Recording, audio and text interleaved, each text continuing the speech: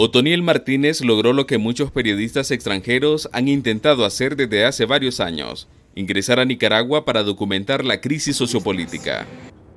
Me parece que fue un viaje entre la clandestinidad y la paranoia, con todas sus limitaciones. De entrada no pudimos hacer esta cobertura con equipo profesional, tuvimos que limitarnos con un celular.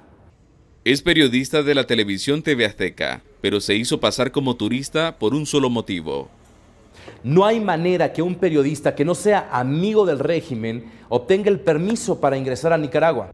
Las dos semanas que Otoniel estuvo en Nicaragua fueron suficientes para documentar bajo riesgos lo que considera país fachada. Durante la última semana en América Latina se han publicado una serie de reportajes sobre su experiencia en Nicaragua y el próximo 27 de agosto estrenará su documental.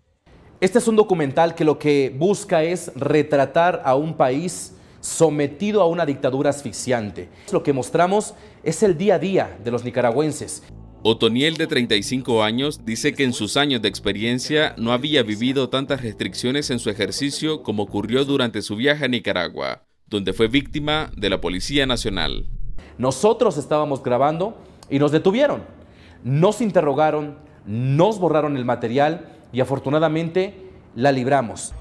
El trabajo del periodista fue criticado por miembros del oficialismo.